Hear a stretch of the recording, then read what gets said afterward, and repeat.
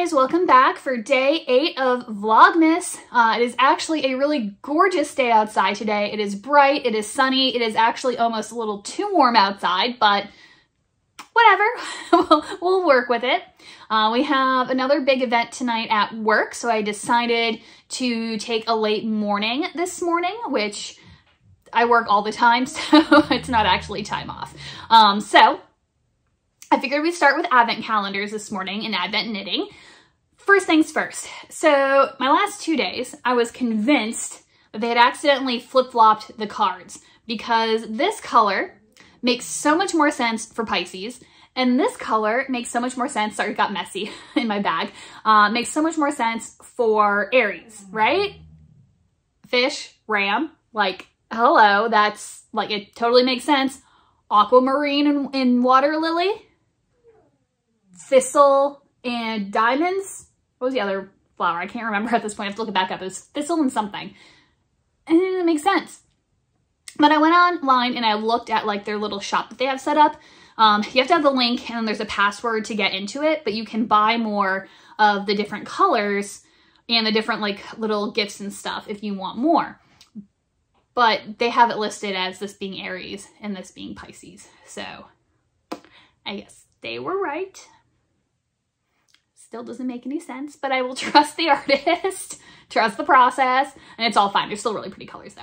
But I'm so excited because I'm almost ready to work with this one. This is my favorite one so far because, pull it up.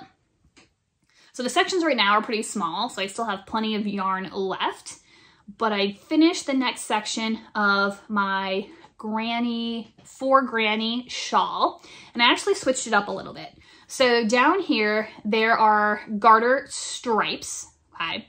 You guys know I added the I-cord edge, that was not in the pattern. But then the next section was supposed to be seed stitch, which really seed stitch would look more like that. It's a little bit bumpier, um, and it's a little bit more stretchy as well, but I just wasn't feeling knit purl, knit and purl, knit purl. So instead, I did linen stitch. And I love the way it came out because you go from having this like really, it's not really bumpy, but bumpy like garter ridges to this really dense, flat, smooth linen stitch. And I just love the contrast. I think I'm actually gonna do the next section in stockinette stitch, just do like all knits in the front. Um, I think that'll look really nice because then it'll kind of alternate stretchiness. So then that way it's not, because because the way the slip stitches work, this is not nearly as stretchy as like garter or regular stockinette. So I think alternating it will still get me the right size and give me a little bit more texture difference. So really excited about that.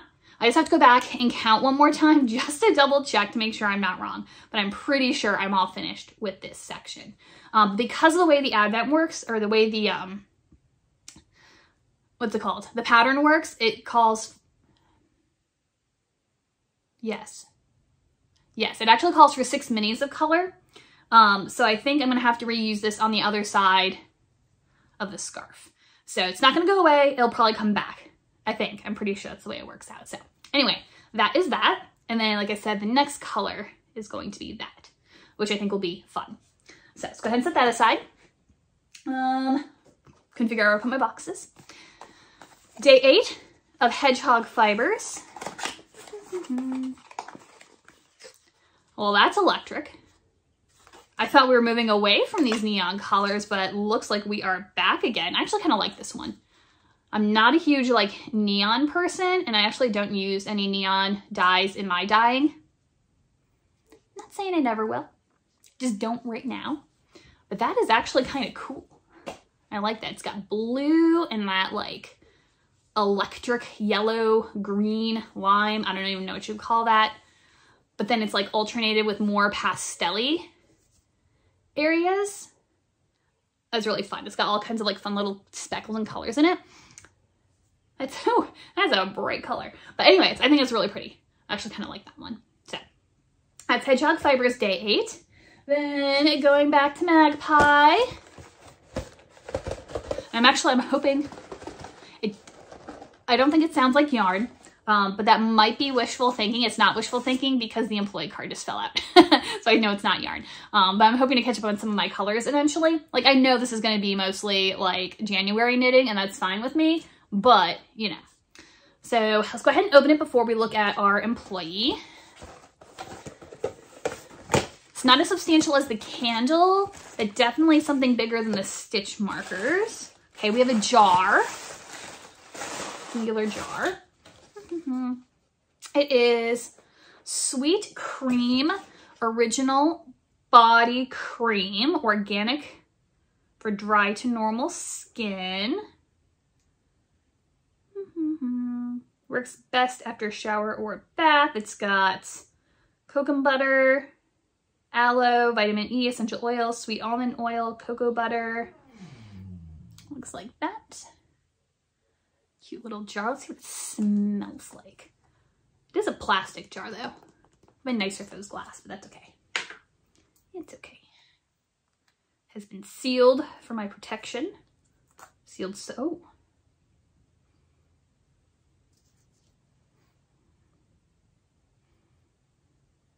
Kind of smells like suntan lotion. It's okay It smells like what I would expect lotion to smell like. So this is from Kiki, uh, who is a Leo and the studio manager. Yeah. Can't stand the dry hands. So, got some lotion. Let's go ahead and... I just took a shower. You can tell my hair's still wet. So technically, it's after a shower or bath, right? Right? I always get like right there is where I get really dry.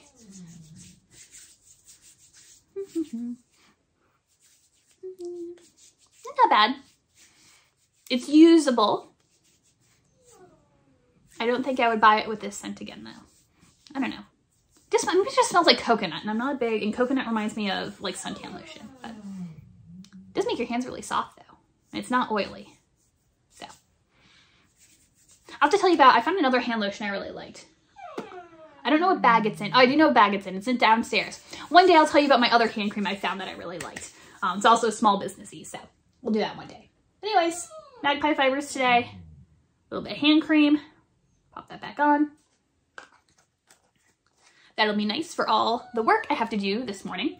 So with the next, am I talk about that yet? No, I'm gonna go wind my hedgehog fibers and then I'll tell you what I'm gonna do next. Let's let's do that. Wowza, that is even brighter in cake form than it was in hank forms. That is crazy. Uh, we'll go ahead and put that back in the box and we'll put it back in the advent calendar for when we are ready for it. So just a couple of days away from second Sundays. Um, and actually tomorrow is another big event at work. So I'm just gonna can have any time to work on anything. I was gonna do a couple more rounds of dyeing and I haven't completely crossed it off the list yet. I should have done so much more. Just There's just not enough time. Um, but I don't want to waste time doing that and risk it not drying in time. So I figure I should probably just concentrate on the crochet portion um, and get as much done as I can. So I'm going to start. I've got a giant box of yarn over here that I'm going to put away in my new Ikea furniture. It's probably not going to live exactly that way forever, but that'll just give me a nice fresh desktop to kind of organize and work off of. And I think that'll help me get organized. So let's go ahead and start with putting the yarn away, getting the top of this cabinet cleared off, and we'll pull yarn for our next project.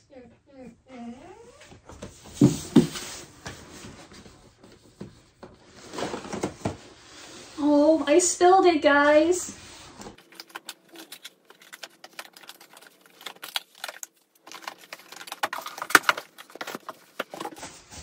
I'll have to tell you guys about this later. This is like my new favorite hat. How... I'm not even like a beanie person. I look terrible in beanies, but I love, love, love, love this hat. But I'll tell you about this another day, okay?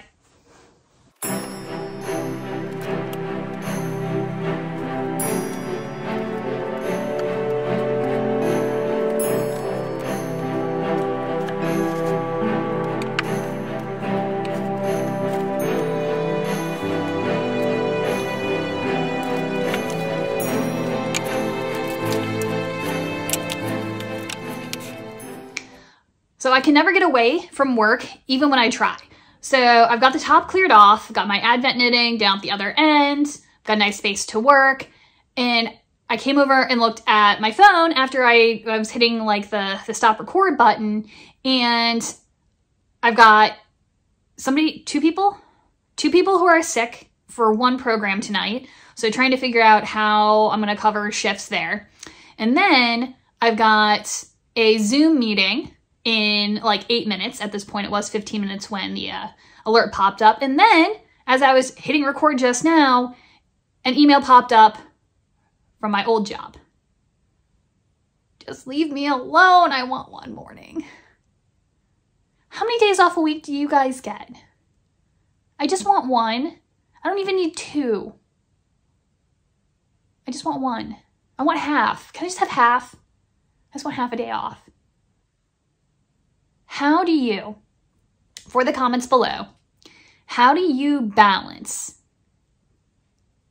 craft markets, like prepping for craft markets. How do you balance preparing for the holiday season? How do you fit in all the stuff you need to do around work? Real time question. I need some advice. Leave it in the comments below. All right. So before I go deal with all of that crud, I want to show you what I'm working on. Looks like a little Charlie Brown sweater, but it's not. It's a it's a bee. Look at him. He's so cute. I didn't want to do the bees that go like this way because like everybody does those and that's like so yesterday. So this little guy, he sits up like this and his little eyeballs are going to go right there. He's got little antennas and he's going to have wings on the back. How cute is he? So bees are the first thing on the list that I made last night for priority for today. I want to make four of these guys. And so I'm going to go ahead and finish up this one, at least his body, and then I'll do the bodies for the other two other three. I can't even math at this point. The other three. And then I'll do wings for everybody. And then I might sew them all together depending on my mood, or I might put them in my pile of unfinished projects because tomorrow is going to be finisher up mode. And actually, I think the uh, stitch marker fell out of this, so I don't know where I actually was.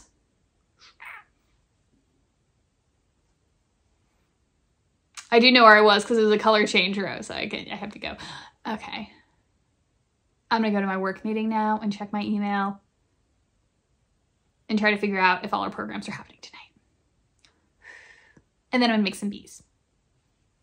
All right, so it's 12.03 right now, so noon in three minutes. I just finished an hour long webinar and during that time I finished the bee I was working on that I showed you before and I made him another little friend and I started on a third one, so that's coming along swimmingly. Uh, it's actually, it took me a little bit longer than planned because I started him and I'm like, yeah, it doesn't feel quite right.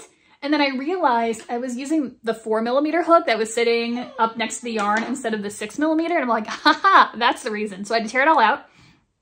But uh, in my hour long meeting I had to attend, uh, virtual meeting on my morning off. I received three text messages, 10 emails, and then an ask if I can come in to work early. I'm gonna cry. I am gonna cry. So what I'm gonna go do is change the laundry. I was washing my sheets so they'd be all fresh for tonight. Um, I'm gonna change those into the dryer, put on some colonial clothes, probably. Maybe I'll wear regular clothes. I don't know. I don't even know if I have clean clothes. So I'm to go find something to wear. And then I'm to pack up like a little kit. I'm to bring more yarn. I need a really big bag. I don't know bring. I'm to figure out. it's got to be something here big enough that I can carry a bunch of yarn into the office. And then that gives me, I have no more than 30 minutes to get out of the house every minute between now and that 30 minute mark is one less minute to eat. Because once I get to work, there's no way I'm gonna be able to leave the office. yeah. Good thing I didn't dye any yarn because it'd be on the stove and not ready to go. So, all right, I'm gonna go pack my bag, get dressed, and get on the road. Woo! Yay! All right, guys, welcome back to the office.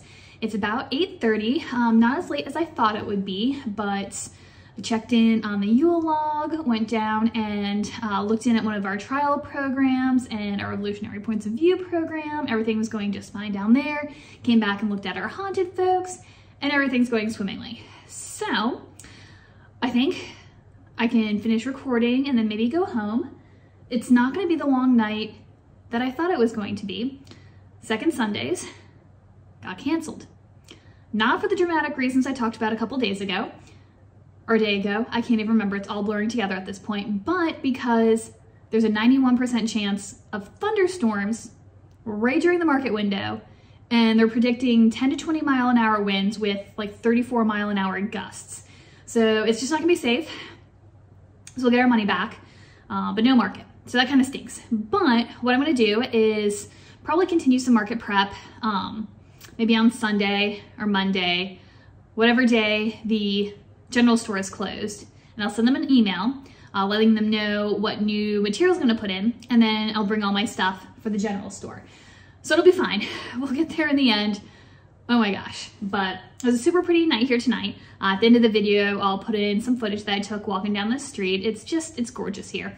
And probably my, my favorite thing, I'll try to, I don't know if the video looked any good, um, I was trying not to be like that person who like films other people in public, because I hate that. But there are these three super cute girls. I don't know if they were college age or if they were like high school girls who were just like wandering around town or something but they were clearly filming a TikTok video and they had like propped their phone up against like the like a hitching post or something and they're all like doing like a synchronized dance in the middle of the street. It was super cute. So I'll see if the footage is any good and if it is, I'll stick it in. But what I got done at work today, um, I'm always thinking that I can get tons of like crochet done while I'm sitting on my computer. But shockingly, when I'm at work, I do work. And so I never get a, a, a, as much chance to actually work on a project as I think I'm going to, um, which is fine because that's not what I'm here for. But I got this little guy done. So let's, can I get him to lock? Oh, no, I lost my lighting. Oh, there we go. I don't know. It won't, it won't look at two things at one time, but you can see my little bee. And then I worked on, I didn't quite get it finished, but here's the start of another one. So that'll be my total of four once they're all finished. And then I also got a chance to work on my Hedgehog Fibers Advent. This is the Adventina. And it's not gonna wanna focus. Yeah, look at that. Um, nope, go back, focus. You can see I moved my stitch marker up, so I only got a little bit done. Um, but as I was working on it, I was counting, and I think I'm actually at the end of this section, they said it was supposed to take three minis to complete, but I think I'm at the end and I'm only on mini number two. So I have to go back and reread the pattern to see what I'm supposed to do at this point, but that's how that's coming along. Anything else? I think that's about it. So I was worried about having to like do an all-nighter working on market prep, but it's a moot point because there's no more market. Sad. But that's okay. It'll be fine. All right, guys. Enjoy the rest of your night, and I will see you tomorrow. Bye.